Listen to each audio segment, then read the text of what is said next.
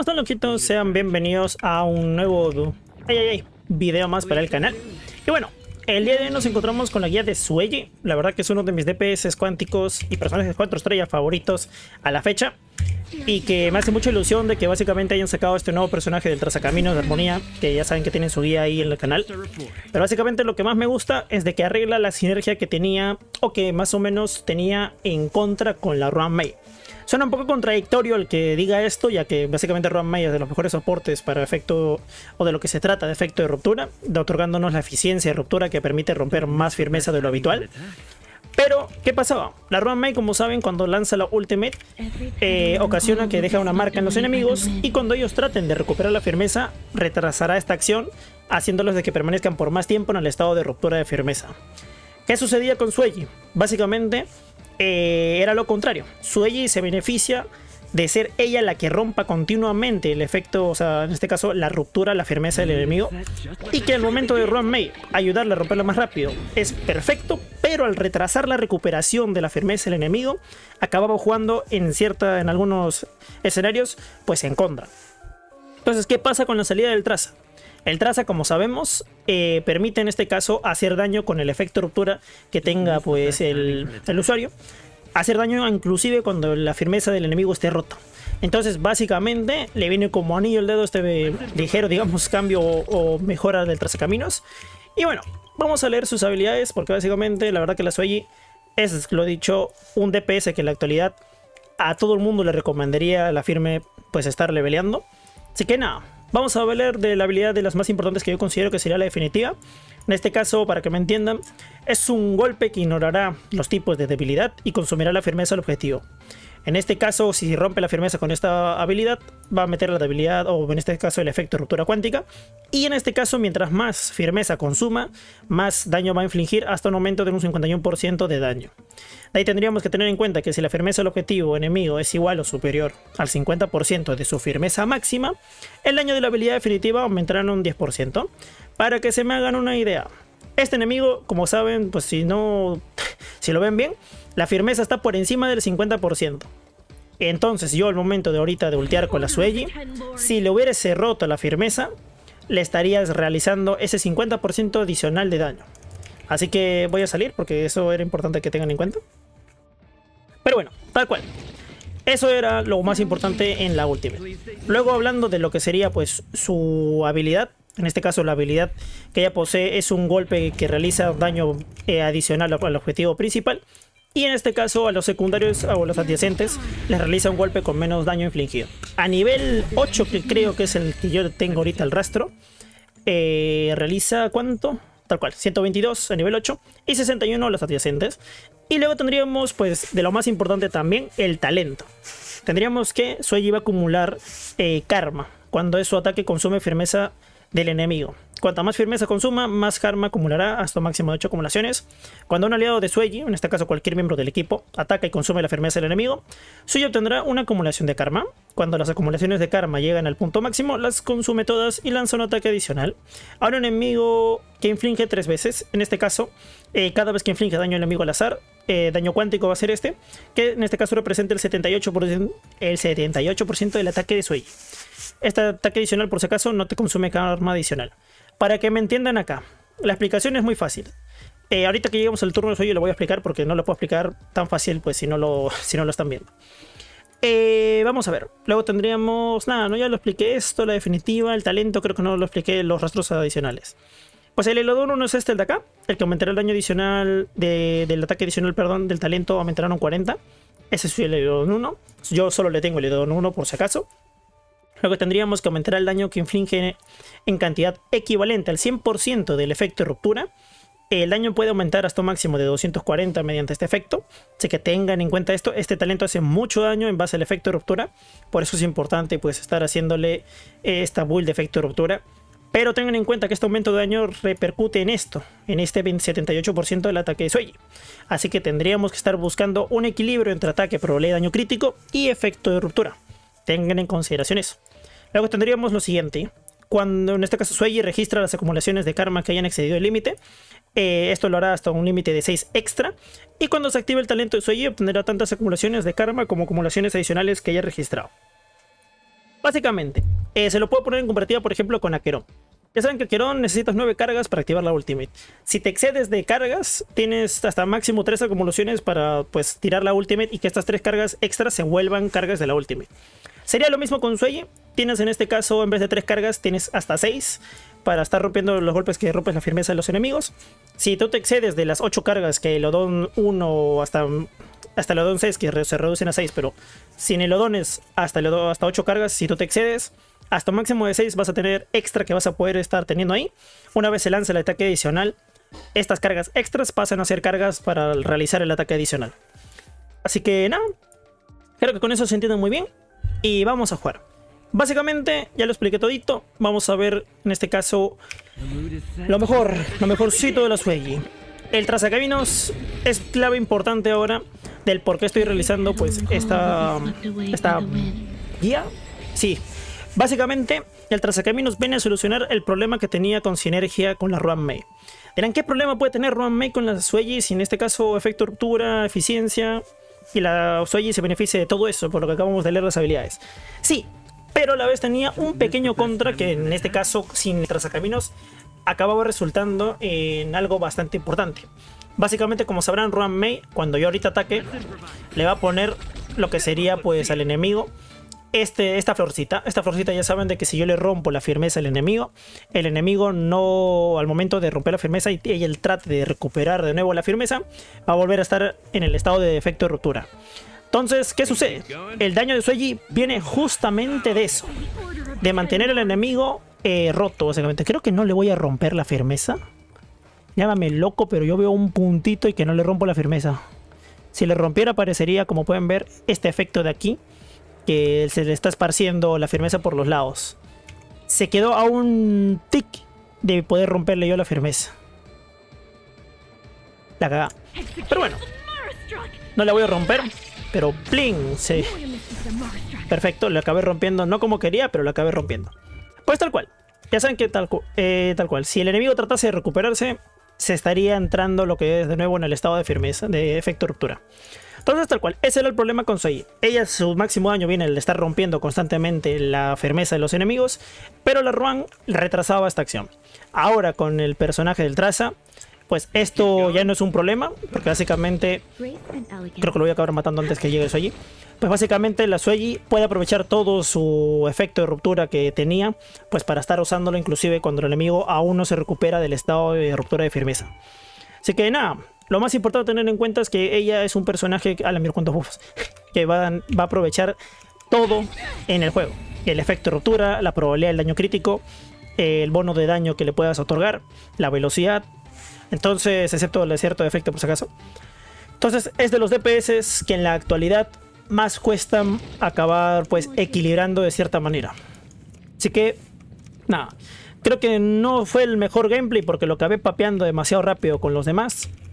Pero bueno, espero que al menos la explicación les haya servido. Si acaso quieren ver un gameplay un poco más exótico, les invito a pasar a los directos, que en este caso casi siempre estoy usando los Sueyi porque me vacila mucho, eh, la verdad que su gameplay. Así que nada, vamos a explicar un poquito por encima, ya lo expliqué, pero de nuevo. Tenemos el primer talento de habilidad, que en este caso va a transformar su efecto de ruptura en aumento de daño de la definitiva, en base hasta un máximo de 240. Tengan en cuenta que no es necesario tener los 240 eh, ya en o sea, antes de entrar al campo, tenemos que tener en cuenta los buffos como por ejemplo de la Romay, de Trazacaminos, eh, ya sea porque tiene el set que comparte el efecto ruptura, o su Elodon 4 que también nos da efecto ruptura, o también porque la Ultimate propia da también efecto ruptura. Entonces, tengan en cuenta eso. No hay necesidad de llegar hasta los 240 y, y matarle en este caso el equilibrio, ¿no? Así que tengan en cuenta eso. Muy importante. Luego tendríamos este otro rastro que es el tema de la firmeza del objetivo. Si es más del 50% y le hacemos daño con la definitiva, va a aumentar un 10%. Idealmente, tratemos siempre de romper la firmeza con la ultimate, así no sea más del 50%. A veces, como pueden ver, el ojo engaña y acabas pues no rompiendo la firmeza. Y lo dejas a un hilito, pero no le rompes la firmeza. Así que es, lo dicho, que soy de los DPS que muy aparte de la tienes que estar muy pendiente de si le vas a romper la firmeza o no con sus ataques porque se gana muchísimo daño gracias a que ella rompa la firmeza. Y luego tendríamos el último que la verdad es vital también porque en este caso va a ser que toda la firmeza extra que se esté rompiendo porque Sueji por si acaso eh, cuando ella mete la habilidad no lo pudimos ver aquí pero si el enemigo tuviera por ejemplo si tuviéramos un enemigo cuántico al medio y dos cuánticos a, a los lados de él con Sueji como pueden leer en la habilidad o en el talento era de acá eh, cuando Soy acumula karma, su ataque consume la firmeza del enemigo. Y cuantas más firmeza consuma, más karma acumulará. Ella puede acumular hasta tres cargas de karma, si es que golpea uno de cuántico y otros dos a los lados que también son de cuántico. Pues la Soy va a ser tres cargas de karma para ella. Mientras que los aliados así rompan la firmeza de todos los enemigos o estén golpeando todo, solo va a estar dándoles una carga de firmeza. Como pueden ver, cuando un aliado de Sueya ataca y consume la firmeza del enemigo, va a obtener una acumulación de karma. Así que Tengan en cuenta eso. Si me estoy equivocando, igual lo pueden decir abajo en los comentarios, pero eso es lo que al menos que ahorita yo estoy recordando de haberlo estado jugando con ella. Es como sucede. Así que nada. Luego tendríamos que tener en cuenta los helodones, que es muy importante los helodones en ella. Se puede jugar sin helodones, se puede jugar sin helodones, pero con helodones su desempeño incrementa muchísimo. Siendo lo más importante el Eledon 4, pero vamos aún así leer toditos. El Eledon 1, el talento, bueno, el daño del ataque adicional del talento aumenta en un 40%. No es nada del otro mundo, aunque igualmente el daño es, pues por ahí no conviene obviamente eh, no tenerlo, o sea, es muy bueno esto, así que no es nada malo. Luego tendríamos el Eledon 2, que sin más el ataque adicional eh, del talento va a ignorar los tipos de debilidad y reduce la firmeza del enemigo. Eh, va a curarse también y al romper la debilidad del enemigo activará el efecto de ruptura cuántica. Esto no es de lo más importante, simplemente es si acaso lo estuviéramos jugando en un equipo, por ejemplo, en donde ella es sub DPS y el DPS principal sí es que sí hace match con la debilidad del enemigo, pues oye también va a poder apoyarnos en estar rompiendo la firmeza constantemente, pues con este ataque, aunque igualmente la firmeza que ella rompe con los ataques sesionales no es nada del otro mundo. Así que, bueno, Luego tendríamos el Eledon 3, el Eledon 4, que es de los más importantes que les voy diciendo, que es que al usar la habilidad definitiva, su efecto de ruptura aumentará en un 40%. Esta ganancia del 40% de efecto de ruptura se realiza antes de dar el golpe, por ende vamos a aprovechar este 40% en el daño que va a hacer al momento de estar rompiendo la firmeza, ya sea pues, por ruptura de firmeza o por ultra ruptura, así que es muy importante tener en cuenta esto. No lo gana después, lo gana antes de hacer el daño, así que sí se beneficia del 40% del efecto ruptura de acá. Luego tendríamos el Elodon 6, que las acumulaciones eh, máximas de karma en vez de ser 8 eh, se vuelven hasta 6, disminuyen a 6, por si acaso aquí lo dejan entender muy bien. No es que se disminuyan en 6, no es que cada dos eh, rupturas o dos daños a la firmeza se va a estar lanzando a cada ataque adicional. No, no, no. se disminuyen hasta 6. Así que nada, el Edon 4 y el 6 son muy buenos. El 4 es de lo mejorcito que puede tener la Soye porque incrementa 40%. Así que nada, Vámonos a lo que serían pues las estadísticas, ¿no? Antes de entrar en detalle de los conos. Como pueden ver, yo a Sueji no le tengo la verdad que la mejor build. Pero aún así me ha servido, me ha servido muchísimo lo que es en los modos de juego que he estado probándole. Ya sea en evocación caótica, por ficción no lo he probado mucho. Porque básicamente tengo abierta Jimeco y es un deleite ver eso. Pero bueno, en todo lo demás, la verdad que me sorprende muchísimo. Así que nada. La build, en este caso no es que le pueda hablar muy bien de la build. Pero bueno, los principales sets que vamos a poder estar usando en la Soeji son los siguientes. Al ser personaje de cuántico, lo mejor siempre va a ser el tema del set de cuántico el daño cuántico, el de dos piezas, y el de cuatro, básicamente, que cuando el portador inflige daño a un objetivo, vamos a ignorar un 10% de su defensa, y si la habilidad tiene, si el objetivo tiene debilidad cuántico, un 10% de defensa adicional, o sea, hasta un máximo de ignoración del el 20%. Es el mejor set sin duda. Lo único malo es que te va a complicar bastante en lo que es mantener el equilibrio entre la probabilidad, ah, probabilidad, daño crítico, ataque, velocidad y efecto de ruptura que tengamos que buscar en Sueji. Esto obviamente es hasta la fecha eh, del 2000, básicamente de la versión 2.2. Si más adelante saldría algún set o algo por el estilo que beneficiase o inclusive mejoras el desempeño de los OI, obviamente haría hincapié, probablemente haga otra guía, pero aún así los voy haciendo porque creo que todo el mundo merece probar a la Sueyi. La verdad que ahorita está en el banner de inclusive de la Robin, así que no es mal momento, si acaso tiraste por Robin, pues si tienes una suelle con algunos dupes, pues probarla, sobre todo también con el trazacaminos, muy buen match. Así que nada, Tengamos luego la otra bull, podría ser literalmente cuatro piezas del set de antiguo que le digo yo de efecto de ruptura. El de acá, ladrón de rastro meteórico. Básicamente este set nos va a dar efecto de ruptura, cuatro piezas, otro 16% más de efecto de ruptura. Y si rompemos la debilidad del enemigo nos va a estar dando 3 puntos de energía. La verdad que esos tres puntos, esos tres puntos de energía no cambia mucho el tema de las rotaciones, ya que soy es un, eh, DPS, que en este caso es DPS o sub DPS, pero principalmente DPS, que va a estar gastando puntos de habilidad todos los turnos. Si todos los turnos que ella, ¿cómo se llama?, realiza o hace, eh, gasta punto de, punto de habilidad, con que mate a dos enemigos en el proceso, ya estaríamos adquiriendo básicamente la ultimate cada los tres turnos que hemos gastado. Serían tres turnos y ya tenemos una definitiva. Como pueden ver, el bufo inclusive del Elodon 4 eh, que es cada dos turnos o dura durante dos turnos, eh, no es permanentemente, o sea, va a haber un turno en donde no, aunque se nos va a disipar este efecto, pero bueno, aún así tendríamos que tener en cuenta eh, lo que les estoy mencionando, que cada tres turnos vamos a estar lanzando Ultimate siempre y cuando Swaggy nunca falle en lanzar la habilidad. Puede que en alguna rotación tengamos que meter un básico y quizá comprometamos el tema de tener la energía de la Ultimate, pero mientras que tengamos que meter ese básico y aún así rompamos la firmeza con la definitiva, no importa. Lo más importante es eso, tener que romper la habilidad enemiga con la definitiva. Así que bueno, es una consideración que igual lo estoy mencionando, pero bueno. Pero bueno. Luego obviamente tendríamos ya fuera de los full sets, pues los 2 y 2. 2 de efecto ruptura de cualquiera de los dos sets. Como puede ser, pues 2 de ataques adicionales. También podría ser 2 de daño cuántico. También podría acabar siendo eh, dos del set eh, del set de Aquerón. Eh, para que me entiendan, del set de Aquerón es el de acá. Dos de estas piezas, sobre todo si lo estamos jugando pues con una run make que mete ese estado negativo de manera permanente. Aunque de todas maneras, si es que lo rompiésemos la firmeza lo suficientemente, suficientemente rápido, ya se le estaría aplicando casi siempre a una debilidad, que sería pues el tema de la ruptura. Así que también puede ser. Luego tendríamos pues dos de efecto ruptura con dos de velocidad. También podríamos, ojo que se me olvidó mencionar, el full set del vaquerito. Ya saben que el vaquerito eh, nos estaría beneficiando por ese daño, bueno, por este 12 de ataque y ese 6% de velocidad que no se debe menospreciar.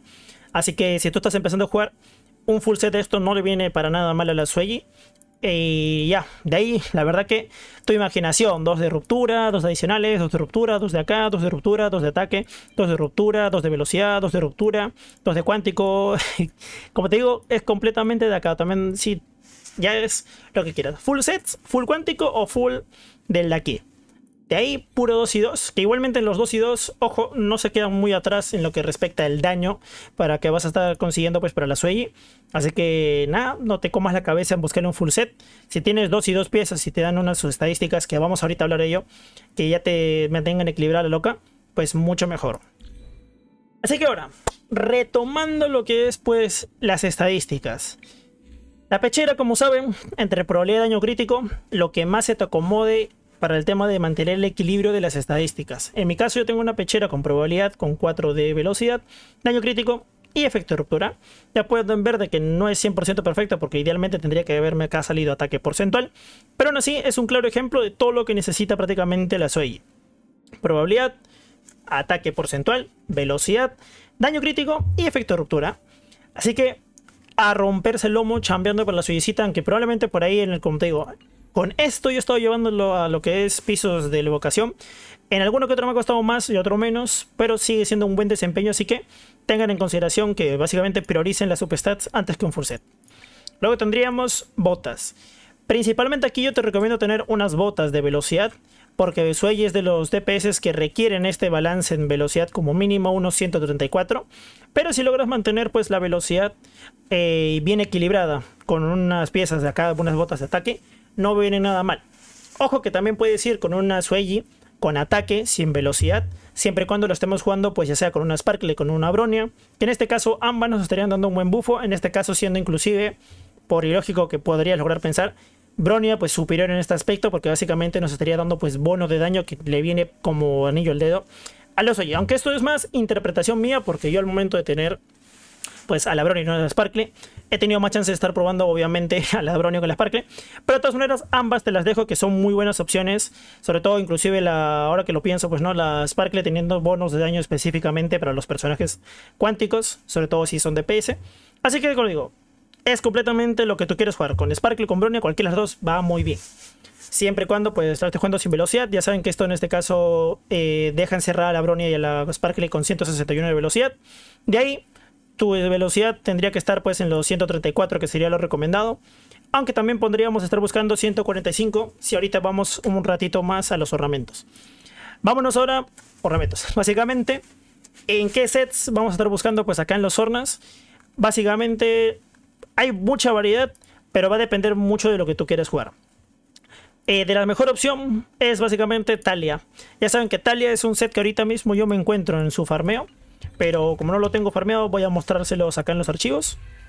Eh, artefactos, ornamentos, Talia, Talia, Talia, Talia. Acá está. Este set de acá. Como pueden ver, el conjunto de dos piezas va a aumentarnos el efecto de ruptura en un 16%. Y cuando nuestra velocidad sea igual o superior al 145, ya ven por qué digo que el 145 de velocidad inclusive es muy bueno, pues el efecto especial de ruptura aumentará en un 20%. Adicional, o sea, tendríamos hasta un 36% de efecto de ruptura. Que de todas maneras, esta velocidad nos ayudaría muchísimo en las rotaciones, ya sea que seamos sub DPS o DPS principal. Así que no puede menospreciar la verdad que este efecto de ruptura.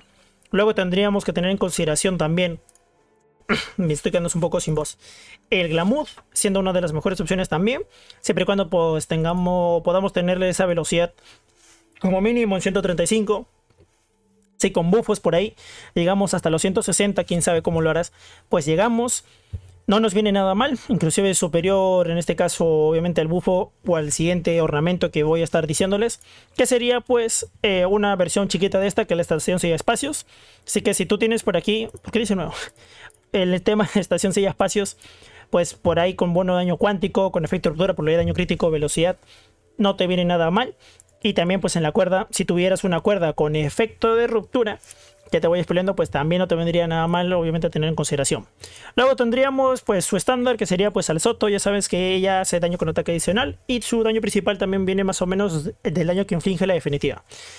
Muy aparte de eso, de aumentarnos el daño de la definitiva o el ataque adicional, pues nos estaría dando, pues, 8 de probabilidad, que nos va a ayudar muchísimo a mantener el equilibrio en la suelle. Así que no es para nada, nada mal ese 8% de Salsoto.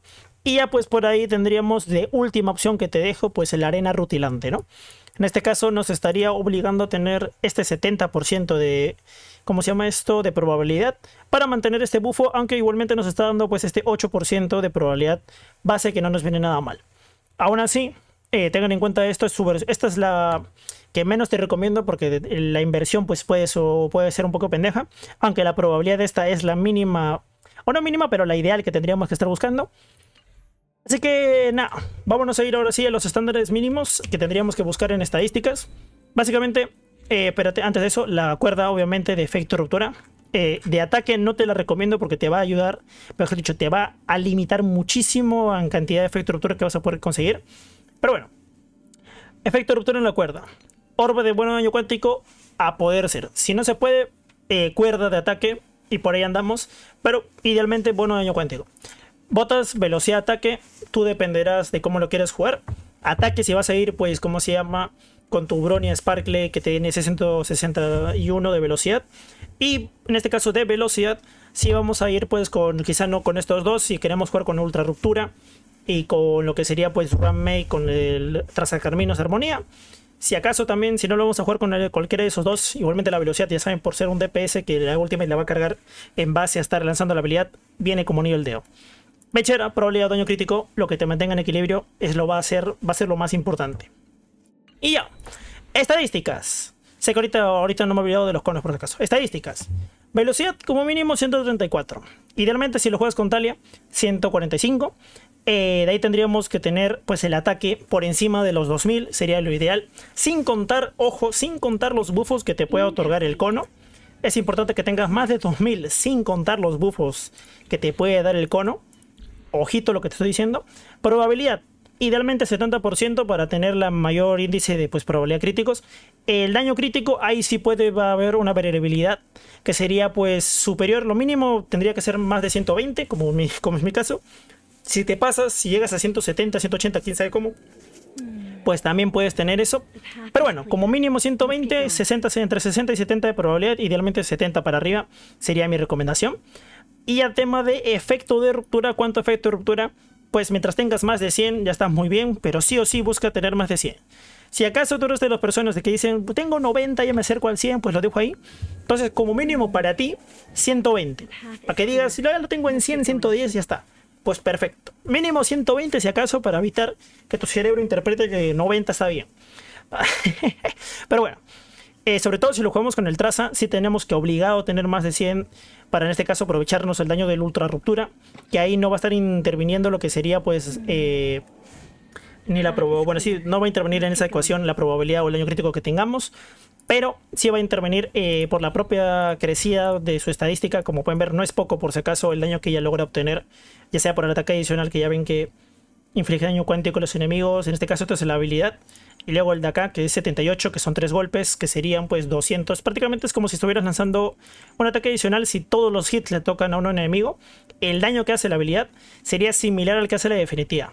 Aunque la definitiva tiene la ventaja de que puede aumentar y este no. Pero por numerito de acá, 212, multiplica en este caso 78 por 3, inclusive creo que es superior a los 212.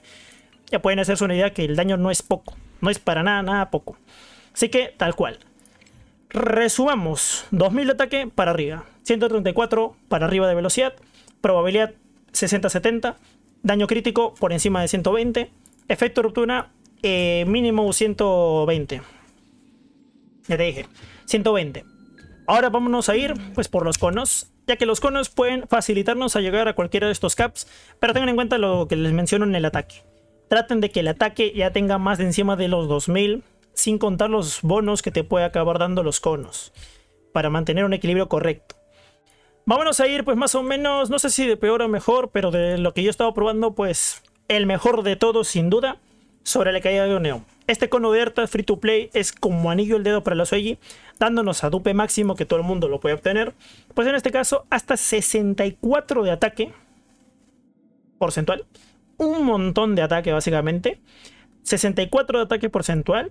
Y cuando el portador rompe la debilidad del objetivo, que es lo principal que vas a buscar en su su daño infligido aumentará en un 24% durante dos turnos. Esto nos va a venir perfecto para básicamente mantener el daño al 100% de la Soji todo el rato por lo que ella representa. ¿no? Yo rompo firmeza, me beneficio de todo lo que hace. Así que, como anillo al dedo. Luego sería, pues, como le digo, su segundo mejor cono, como quieran verlo, el de acá, promesa grabada. Nos estaría dando efecto de ruptura, que ya saben que el efecto de ruptura en Sueji pues nos va a venir bastante bien. Y el tema de la probabilidad al momento de lanzar la definitiva, también para en este caso evitar fallar este golpe crítico, que ya saben que es un golpe bastante importante el de la definitiva. Así que no se menosprecia. El problema aquí cuál es? Estos 15 de probabilidad y hasta dupe máximo 30 no deben ser eh, vitales en la rotación, o sea, en las estadísticas que tengamos con Sueji. ¿A qué me refiero? Que no porque este cono nos dé 15 de probabilidad, voy a tener una suelle con 55 de daño crítico, de probabilidad crítica, ya que sumando los 15 de probabilidad después de lanzar la definitiva, eh, tendría pues 70. No es así. Tendríamos que ya tener 60, 70 como mínimo antes de tener el bufo, para básicamente ya con esta probabilidad garantizar que el mínimo, la definitiva, no se falle. Ya que como los menciono, bueno, en este caso, esta probabilidad es dura, bueno, es durante dos turnos. Habrá un turno que no tengamos el bono. Y quizá en ese turno, imagínate que acabamos haciendo inclusive los dos golpes seguidos de la habilidad, eh, el ataque adicional. Y se estaría desperdiciando bastante daño. Nunca los conos, que en este caso nos dan probabilidad, deberían ser vitales en lo que sería la build de estadísticas, en este caso las estadísticas mínimas de nuestros personajes, porque significaría que en algún punto en donde no tengamos la chance de estar eh, hagan, haciéndolo en este caso la acción o lo mínimo que se pide para activar el requisito, pues perderíamos daño. Así que tengan en cuenta eso. Como mínimo trata de tener unos 60, 70, inclusive si lo tienes tope máximo, tendríamos prácticamente 100% de probabilidad crítica, o sea, el golpe sí o sí va a ser, y de ahí durante dos turnos 100% de probabilidad crítica, ya se pueden hacer una idea. Así que, tal cual. Luego tendríamos, por loco que suene, eh, los topos. Lo de los topos, soy el hacer, el podemos hacer un ataque básico sin ningún problema, luego lanzar la habilidad básica y luego la habilidad definitiva para tener una acumulación de ATP máximo inclusive. ¿Cuánto sería? 24 por 3, ¿no? Porque son tres acciones, 24 por 3, 72. 72 de ataque. Un montón de ataque y las estadísticas pues no nos vienen nada mal. Así que lo de los topos eh, es una opción bastante útil en la Sway. Eh, pero obviamente se queda por detrás de los sobre que Neon, porque en este caso él da inclusive pues 24 de daño, que acaba siendo pues diferencial eh, lo que es pues con el daño total que hace la suya. Luego tendríamos que tener en cuenta que también puede ser una opción eh, ¿Dónde está? Bajo el cielo azul, también no es mala opción. Tendríamos que estar matando constantemente como mínimo un objetivo para tener este bufo de probabilidad. El daño de, bueno, el ataque no es nada malo, pero inclusive yo te recomendaría que uses el de Misha, siendo pues un poco más fácil activar su condición y dándonos el efecto de ruptura, que es probablemente algo que nos puede lograr costar mantener el equilibrio respecto a lo demás. Aunque bueno, ya dependerá un poco de lo que queramos estar ahí usando. Sin más, de ahí, por tema de solo substats, podríamos estar inclusive usando lo que sería el conito de la, de la clara. Aunque sería el último que yo te voy a recomendar, la verdad, que acabes usando. Porque no solamente te da ataque. 24 de ataque, sí tiene, buena, sí tiene buen ataque base, ¿no? Eso no se menosprecia. Pero de ahí de lo demás, la verdad que cuando el portal elimina un objetivo recibe ataque, pues regenerar vida. No es prioridad de que la Sway sea su autosustain. Eh, aumentará su daño que inflige hasta que termine su turno un 24%. Este efecto no se puede como... Eh. No te lo recomiendo del todo. La verdad que se queda por detrás de los otros conos que te estaba mencionando. Así que ya queda en ti como lo quieras. Y en tema de equipos. Finalmente, tema de equipos. Este sería pues su equipo si vamos a buscar la Sueyi, pues obviamente a full efecto ruptura. Entre comillas, que también se puede llevar a full efecto ruptura. En este equipo en particular podría ser una muy buena opción. Sin embargo, por lo tema de que sus escalados de sus habilidades, sus ataques adicionales y su, y su habilidad, su habilidad definitiva, su habilidad y su talento, sería un talento, no el ataque adicional, pues no compensa del todo. Con este equipo en particular podría acabar siendo podría acabar compensándolo. Sin embargo, yo te recomiendo que la igual de todas maneras la busques la híbrida para básicamente aprovechar todo lo que hace su set. Así que ya queda en ti como lo quieras, pues básicamente jugar. Luego tendríamos una opción, que en este caso si tú no tienes o no has llegado hasta lo que es esta historia, hasta la parte de la historia donde tienes caminos, pues probablemente tampoco tengas el run, imagínate. No es mala opción estar usándola pues con lo que sería una bronia. Ya podría ser inclusive una pela para estar reduciendo la defensa de los enemigos, voy a ponerlo así. No es una mala opción jugarla así por si acaso. Gallagher saben que aquí sustain completamente lo que se te dé la gana. Puede ser una Jojo, puede ser un Lucha, puede ser una Fushuan, una Aventuras. Lo que se dé la gana, eso no me meto yo. ahí tendríamos, ¿cómo se llama? También poder usar la típica, un hipercarry. No es nada malo. Luego tendríamos, ¿cómo se llama? Con Cyberwolf para estar metiéndole la debilidad de los enemigos. Los pros que ella tiene es que hace mucho daño, puede ignorar la firmeza de los enemigos con la definitiva. Tema del daño no es nada malo, puede, su, puede jugarse como sub DPS y podría, podría seguir diciéndote las, los, los pros que ella tiene. Pero de los contras sí son bastante fuertes, que en este caso es que si en el equipo o ella, en la debilidad que tiene el enemigo no coincide con la de tus aliados, prácticamente perdiste porque no hay chance de que vas a estar lanzando la definitiva ni los ataques adicionales. O sea, básicamente vas a perder muchísimo daño. Muchísimo daño porque no vas a romper firmeza, que sería el daño principal, o del, de gran parte del daño de la ecuación del daño que ella, que ella hace. Y en este caso, eh, no vas a aprovechar nada de sus ataques adicionales, básicamente. Vas a perder absolutamente todo. Así que juégale con los enemigos que sean débiles o apóyate pues con un soporte que ayude en eso. También podrías por si acaso estar jugándole con el trazacaminos perfectamente así para hacerlo al enemigo débil a Quantum y aún así papearlo. Aquí ya la Cyberwolf puede ser como se llama de buffer o también puede ir a efecto ruptura. Como tú lo veas. En este caso este Cyberwolf por si acaso va con va a efecto ruptura. Así que nada, eso ya queda a discreción de cómo lo quieras jugar tú. Sin más, tema de creación de equipos, como siempre digo, es cosa de cada quien, pero aún así te vengo a recomendar más o menos esos dos equipos que probablemente por ahí puedas acabar sacando. Si no tienes a la Bronia, una Tinjum, una Pela en vez de Cyberwolf, hay mil maneras de la verdad subir los equipos, por eso es que casi nunca recomiendo equipos, pero bueno. Sin más, esta guía es como las de antiguitas, ¿no? Que son extremadamente largas, pero aún así he abarcado todos los aspectos que la Oye tienes que tener en cuenta para que dé su máximo daño. Yo, lastimosamente, no lo tengo full dones, que es lo que me gustaría. Desde su salida, eh, tiré en el banner de la primera vez que vino, no me salió. Tampoco tiene mucho. Y en este banner he tirado una multi o dos y recién me ha salido un dupe. he tirado unas cuantas multis, la verdad, solamente por conseguir dupes de ella. Pero como tengo asegurado, no voy a seguir tirando. Y bueno, sin más, como siempre, loquitos, es un gusto haber estado acá con ustedes. Ya saben que pueden dejar su like, compartir y suscribirse, que ya saben que poco a poco estamos llegando acá a los 2K de suscriptores. Y sin más, como siempre, soy Abuelito de Pollo. Gracias por su apoyo y nos vemos en el siguiente gameplay. Un saludo a todos y adiós.